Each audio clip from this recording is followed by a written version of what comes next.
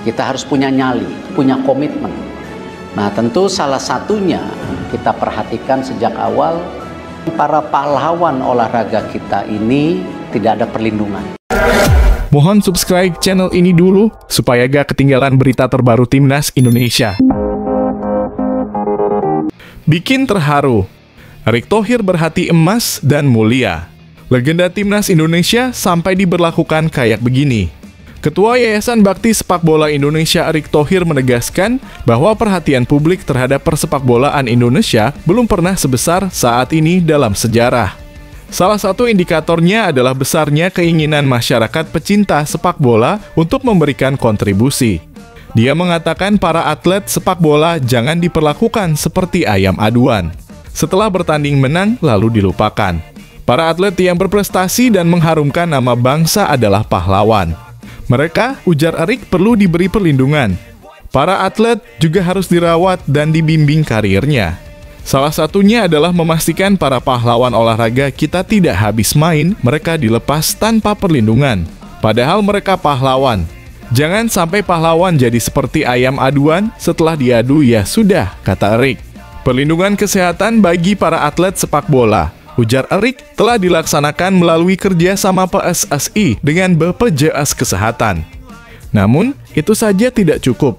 Banyak yang harus kita siapkan, misalnya dalam waktu dekat ada Piala Dunia U17.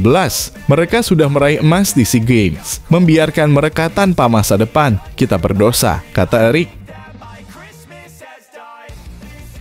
Aji Santoso gantikan Bima Sakti jadi pelatih timnas Indonesia U17 jadi tuntutan saya ke PSSI. Menurut analisa saya sebagai pengamat sepak bola handal di Indonesia, keputusan Persebaya mengistirahatkan Coach Aji Santoso adalah peluang emas untuk gantikan Bima Sakti. Di sisi lain, tak sedikit netizen atau warga internet yang masih meragukan kepemimpinan Bima Sakti dalam menukangi timnas U17 Indonesia. PSSI pun buka suara dan membelah sang juru taktik tersebut. Menanggapi hal ini, Wakil Ketua Umum PSSI Zainuddin Amali membelah mantan pemain timnas Indonesia tersebut. Mantan Menpora tersebut mengatakan bahwa netizen tak bisa langsung menilai seperti itu. Sebab sebenarnya Bima Sakti juga tak sendirian dan banyak dibantu juga oleh konsultan timnas U17 Indonesia Frank Wormuth. Bahkan Direktur Teknik PSSI Indra Syafri juga ikut membantu pelatih berusia 46 tahun tersebut. Jangan langsung dinilai sekarang, dia tidak sendirian. Dia dibackup oleh Frank dan Indra Syafri, ujar Zainuddin Amali. Amali percaya bahwa Bima juga tidak mungkin bisa memutuskan semuanya sendiri. Sebab Indra dan Frank juga turun andil dalam mempersiapkan timnas U17 Indonesia ini. Witan Sulaiman dihujat turun performa sejak pulang kampung. Ia diam-diam jadi raja assist Liga 1. Witan Sulaiman bergerak dalam senyap mengoleksi 4 assist untuk Persija Jakarta di tengah derasnya hujatan. Witan Sulaiman tak akan bisa menjawab kritik yang mengatakan ia pulang terlalu cepat ke Indonesia.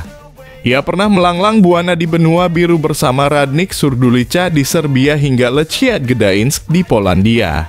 Masa terbaik Witan terjadi di Slovakia saat ia menjadi pemain reguler di FK Senica dan lumayan dipercaya di AS Trencin.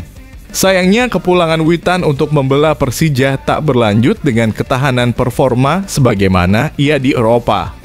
Pada paruh kedua musim lalu, ia tak pernah menyelesaikan 90 menit dan cuma berkontribusi 2 gol dan 1 assist dalam 10 laga. Bersamaan dengan itu, performa anjlok Witan lebih kentara saat membela timnas Indonesia. Namun saat ini grafik performa pemain berjuluk Baby Shark terlihat menanjak, terindikasi dari kontribusi assist. Setelah melepas dua assist melawan Bayangkara Football Club, ia mengkreasi dua gol dalam dua laga terakhir Macan Kemayoran. Naiknya kepercayaan diri Witan terlihat dari aksinya mengolongi Yevhen Bokhashvili pada babak pertama melawan PSS. Apabila Witan dapat meneruskan performa gacornya ini, Shin Tae-yong bakal terus memanggilnya ke timnas Indonesia. Kata-kata pemain timnas Indonesia Saina Patinama setelah bawa Viking FK menang 8 laga beruntun. Pemain timnas Indonesia Saina Patinama sukses membawa Viking FK meraih 8 kemenangan beruntun di kompetisi kasta teratas Liga Norwegia Elite Serien musim 2023. Terbaru, Saina Patinama membawa Viking FK menang atas pemuncak klasemen sementara Elite Serien FK Bodo atau Glimt pada pekan 17 di SR Bang Arna, Minggu dalam kurung 6 Agustus 2023. Itu adalah kemenangan ke-8 Viking FK secara beruntun. Pada laga tersebut, Saina Patinama tampil sebagai starter di posisi bek sayap kiri. Tak hanya itu, ia mengawal lini bertahan Viking FK selama 90 menit alias ia bermain penuh satu pertandingan. Viking FK menang dengan skor 3-2 atas FK Bodo atau Glim. Setelah pertandingan, Shaina Patinama memberikan tanggapan melalui unggahan di Instagram pribadinya Senin dalam kurung 7 Agustus 2023. Ia mengapresiasi penggemar Viking FK yang mendukung di stadion. Kemenangan ke-8 berturut-turut tulis Shaina Patinama. Ayo jaga momentum ini, fans luar biasa seperti biasanya. Dengan kemenangan itu, Viking FK tetap berada di posisi kedua klasemen dengan 38 poin dari 17 laga. Mereka selisih 3 poin dari pemuncak klasemen FK Bodo atau Glimt yang mengemas 41 poin dari 18 pertandingan. Semoga kemenangan ini bisa juga membangkitkan kawan-kawan di timnas Indonesia kelak waktu bertanding melawan negara-negara lain. Informasi kabar duka sangat tiba-tiba mendadak hampiri Persija. The Jackmania bisa menangis menderita gara-gara hal ini. PSSI melalui Komdis bisa marah besar lagi hal terlarang ini terulang kembali. The Jackmania ketahuan hadir di Stadion Maguwo Harjo saat Persija kalahkan PSS Sleman 3-1. Komis bisa-bisa mendenda mereka lagi usai denda terakhir dialami Persija saat hadapi Persebaya di GBK. Di sisi lain, pemain Persija, Hanif Jahbandi, mengaku bersyukur atas tiga poin yang didapatkan Macan Kemayoran. Menurut Hanif, pertandingan melawan PSS tidak mudah karena harus bermain tandang. Meski bermain di kandang lawan, Persija menunjukkan kekompakannya. Permainan cepat dari kaki ke kaki diperlihatkan oleh anak-anak asuh Thomas Doll itu. Kata Hanif, permainan apik Persija berkat De Jakmania. Selain itu, ini juga karena kerja keras seluruh pemain.